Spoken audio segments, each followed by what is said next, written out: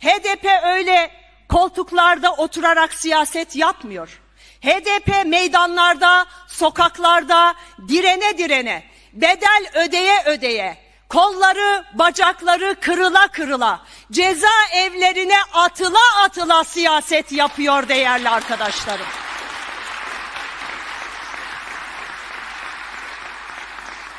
Ve bu siyasi mücadeleyi yürütürken hem demokrasiye hem de topluma kazandırmaya çalışıyor değerli arkadaşlar. Demokrasinin de hak ve özgürlüklerin de toplumsal barışın da gerçek adaletin de çıtası HDP'nin fikriyatıdır. HDP'nin demokratik siyaseti getirdiği düzeydir sevgili arkadaşlarım. Biz güçlü toplumsal mücadeleye ve ilkeli siyasal müzakere çizgisine sonuna kadar bağlıyız ve bu hattın kesinlikle kazandıracağına da inanıyoruz. MHP'nin genel başkanı bugünkü grup toplantısında, grup konuşmasında yine partimizi hedef aldı. Sadece partimizi hedef alarak değil, partimize oy veren milyonlarca insanı da hedef aldığını da belirtmek istiyorum. HDP'ye bir saniye bile tahammülleri yokmuş sevgili arkadaşlarım. Geçen haftaki grup konuşmasında AKP'nin heyetinin HDP grubunu mecliste ziyaret etmesiyle ilgili gayet doğal demişti. Ancak bugünkü MHP Genel Başkanı ise yine HDP'yi hedef alan konuşmalar yaptı. Ve bir hafta sonra eski ayarlarına geri dönen bir MHP Genel Başkanıyla karşılaştığımızı belirtmek istiyorum. Kendisine naçizane tavsiyemiz şudur. Değerli halkımız, bugün konuşan MHP Genel Başkanı'nın 8 Kasım'da konuşan MHP Genel Başkanı'yla bir araya gelerek ortak bir karar vermelerinde fayda var. Onlara söyleyecek başka bir şeyimiz de yok sevgili arkadaşlarım. Evet, bir kez daha vurguluyorum ki HDP halklar arası bir köprüdür. Bu ülkenin demokrasisinin de birlikte yaşamının da harcıdır sevgili arkadaşlar. HDP'nin açtığı yol, açtığı kapı bu toprakların hasret kaldığı eşit ve özgür yaşamın kapısıdır. Birlikte yaşamın yoludur. Evet çözüm bekleyen, bizlere umut bağlayan halklarımızı yeni bir dönemle kesinlikle buluşturacağımızı da belirtmek istiyorum.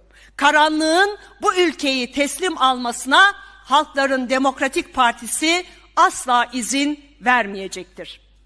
Sevgili arkadaşlarım, toplumun en acil sorunlarından başında özellikle herkesin derinden yaşadığı ekonomik çöküşün yer aldığını her grup toplantımızda belirtiyoruz. Tabii iktidar halkın her gün konuştuğu ekonomik siyaset gündeminde, ekonominin siyaset gündeminde yer almaması için algı çalışmalarıyla başka gündemler yaratma peşinde olduğunu da biliyoruz. Bunu biliyor ve görüyoruz ama biz gerçekleri söylemeye her daim devam edeceğiz. Halk her gün geçim derdinde ve kan ağlarken insanların aklıyla alay edercesine çıkmışlar, ekonomisi göz dolduran bir Türkiye yarattık diyerek bir kez daha Türkiye toplumuna hayal satmaya, masal anlatmaya, hikaye anlatmaya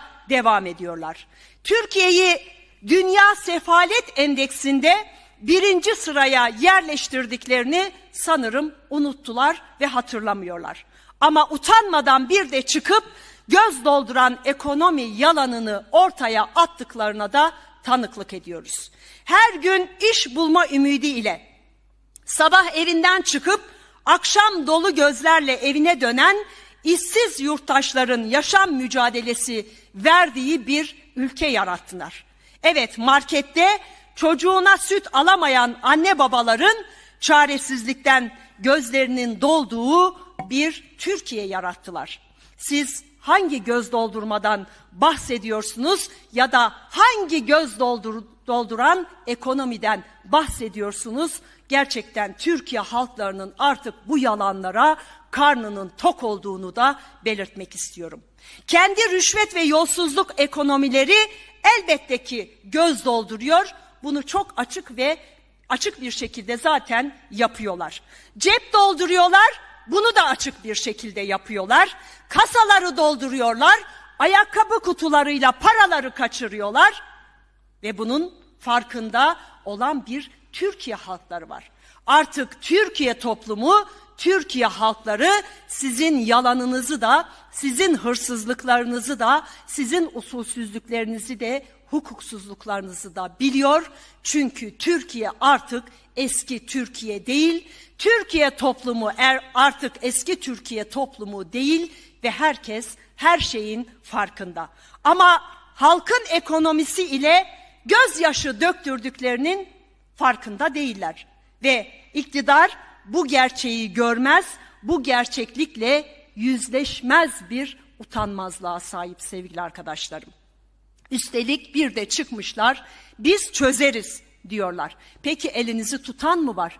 Niye şimdiye kadar çözmediniz? Niye şimdiye kadar çözemiyorsunuz? Bunu anlatacak tek bir yetkili de karşımızda yok sevgili arkadaşlarım. Biz sizlerin neleri, neleri çözdüğünüzü gayet iyi biliyoruz. İşte uluslararası raporda OECD'nin raporunda özellikle Türkiye rüşvetle savaşmıyor tespiti yapılmaktadır. Kurdukları rüşvet ve yolsuzluk çarkı dünyanın dilindedir. Evet, Sayıştay da ortaya koydu. Özellikle iktidar belediyeleri tam bir yolsuzluk çukuruna dönüşmüş durumdadır.